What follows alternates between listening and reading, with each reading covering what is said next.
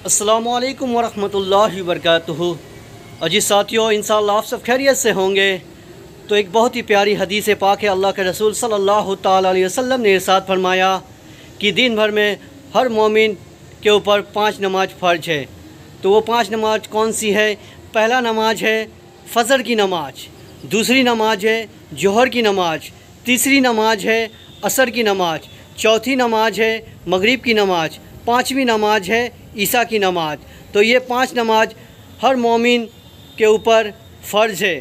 तो इस नमाज़ को कायम रखे और अल्लाह और उसके रसूल पे अमल करे और अपने वालदेन की हिफाजत करे, उनकी अच्छी तरह से ख्याल रखे तो इस छोटे से हदीस पे अमल करे और इसी तरह की हदीस पाने के लिए मेरे चैनल हसन रजा रिजवी को फॉलो करें।